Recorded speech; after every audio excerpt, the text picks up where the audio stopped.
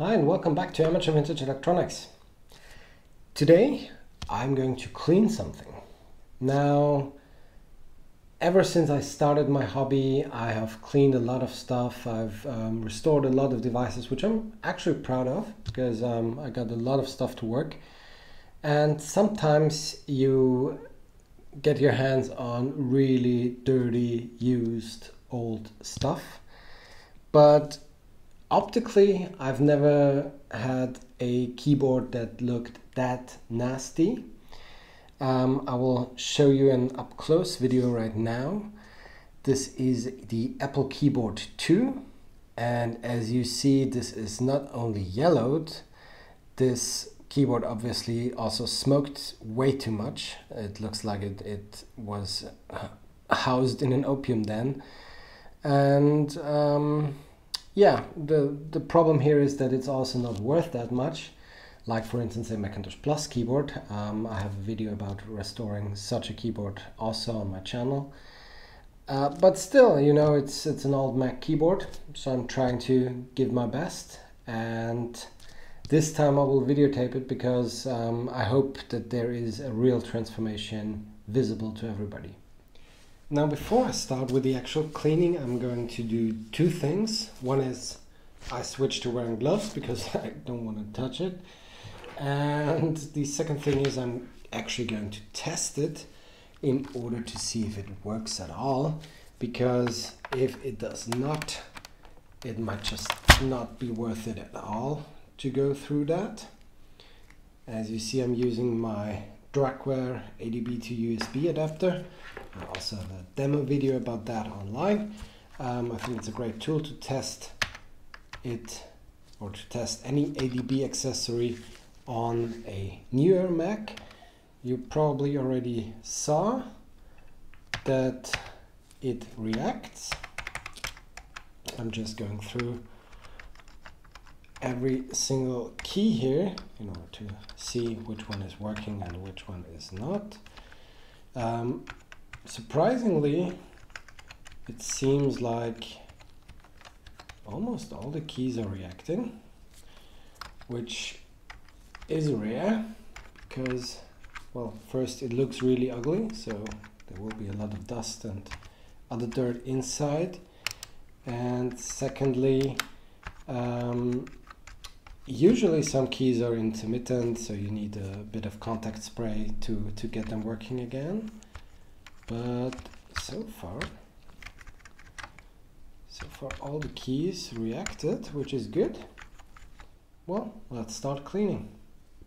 So as you see I put some paper towel below because some debris is actually gonna fall out. Um, I'm glad that the foot stands actually are intact which is good. As you see, it's the Apple Keyboard 2. It's made in Malaysia. Um, and the underside actually looks a lot cleaner than the front side, obviously. So now let's see which surprises hide inside there. Let's try to move it very carefully. Ah, perfect. Okay, you can see the beautiful platinum inside, which actually doesn't look that bad. And the, this switch is actually embedded directly in the frame. Okay, that's good to know. Let's put this aside and let's have a look at the keyboard. And well, it's actually a lot better than I expected but you can see some dirt here also some rust here. That's due to sweat from the hands getting into the keyboard. Um, I think this has been repaired already because as you see the ADB ports being taped down. So we have here three more screws right. Okay. That's good. And it is slowly coming out. Good. So as you see this looks ugly. And let's also check the back side here. Okay, that's actually not that bad. I expected worse. So basically, uh, you need to be careful here with these um, flat band cables because these are very delicate. So I will just clean it with a brush and then I'll start removing keys. So I've brushed everything down a bit.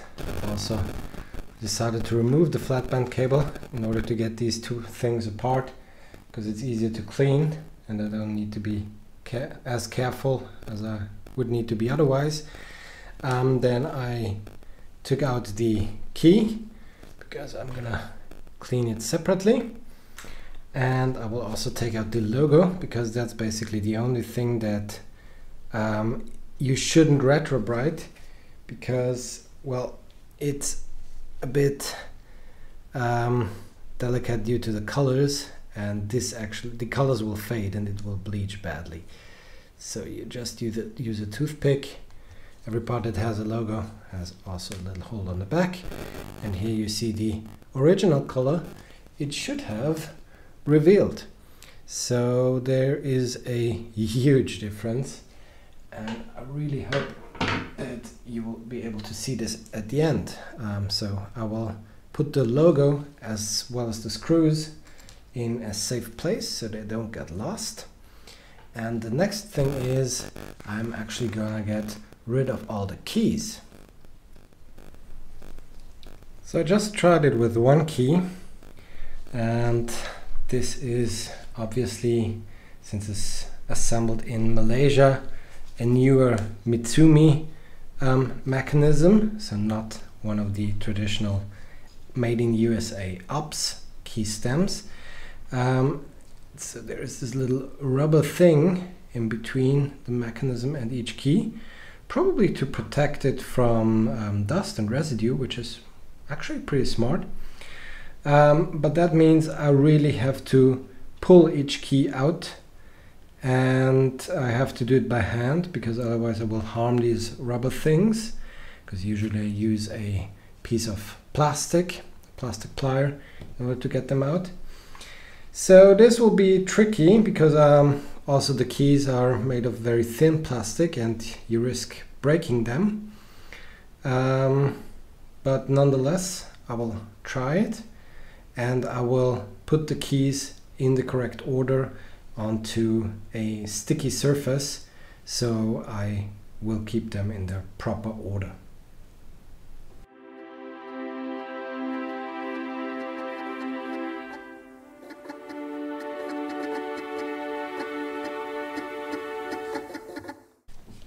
just to show you up close.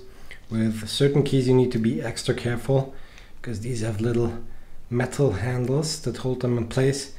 These are usually the enter button here, the enter button here, the space bar, and then these function keys. They usually all build similar, so you need to be extra careful when removing them.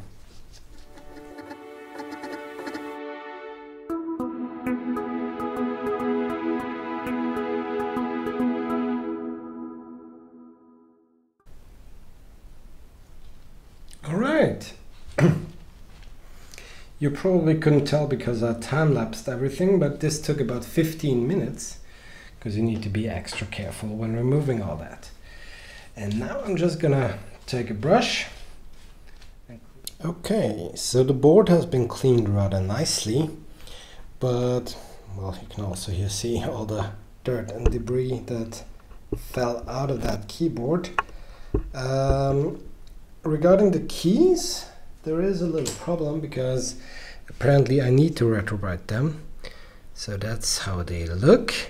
And I use an isopropanol wipe to wipe them down real good. And while they get really clean, um, you can still see that the plastic definitely yellowed as opposed to this platinum color it should have which means I need to clean every single key and then start the retro brightening process. Now as I told you to keep the keys in place I have just a piece of cardboard where I put some double-sided surface on it so they stick and stay in place and now I'm actually going to clean every single key. Nice. So as you see all the keys have been cleaned. They look rather nice when you look at them like that. But when you actually check the bottom side of each key you see the huge difference in coloring. So the beautiful platinum color it should have and the yellow plastic they have. So I'll retrobrite them along the case and for that I'm going to use uh, the pasting method. I will also post a link to my retrobrighting video right now. Um, I'm basically applying a hydrogen peroxide agent with a brush and then put it under sunlight and repeat the process over the course of a couple of days. And this will revert the discoloration of the plastic. After only one day of retrobrighting, the keys are finally done. Uh, just let me show you up close here. You have the top side of the key and the bottom side. So they're actually the same color. They're platinum again. The case needs a couple more days um, because it has been affected more heavily and it's made of a, out of a different material than the keys. And now I'm going to reinstall them. As you see, I've put one already here.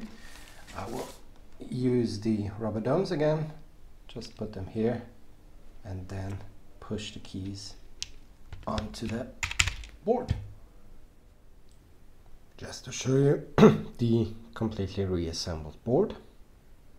And as you see it looks really clean and nice. So the retro brightening is finally done. Um, as you see we have here the back case. Now the back case looks well, almost as new again, um, except this side, you probably can't see it on the video due to the lighting here. Um, the front panel is not 100% perfect. You can still see that there is a little color difference between um, the space behind the logo and the case. But um, I didn't retrobrite the keys to 100% because um, I saw that some already lose their marking. This is not to, due to the retro brightening, this was already before. Um, but just as a precautionary measure, I didn't want to treat them too often. But anyways, this is an old keyboard, so if it looks old, then, well, it's just, it just looks as it's supposed to do. Um, in other words, we are completely fine here. And now I will do the final reassembly of this keyboard. The keyboard has been fully restored. As you see, it looks really beautiful compared to the the thing we started with. I'll show you a uh, before and after image right now. And yeah, it's always worth restoring old stuff. And that's how you can do it. Take care, everybody, and thanks for watching.